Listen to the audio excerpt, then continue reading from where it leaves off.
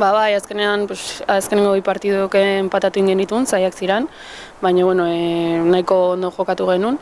Eta ja, ba, portxoabek, orain dazkagun portxoabek eta gero, ba, goguakin hasiko gara eta ba, iru puntuak lortzeko goguakin.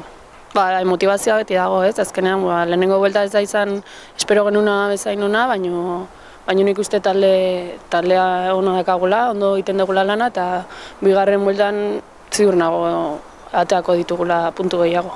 Bueno, beraiek ez dute erreza jarriko ez, ez erraza jarrikoan, beraien etxean jokatzen dugu, baina bueno, ba, kontuan hartu behar da zubietan irabazten genula, nahiko, nahiko eroso egon ginala zelaian, da ba, berdin egingo dugu.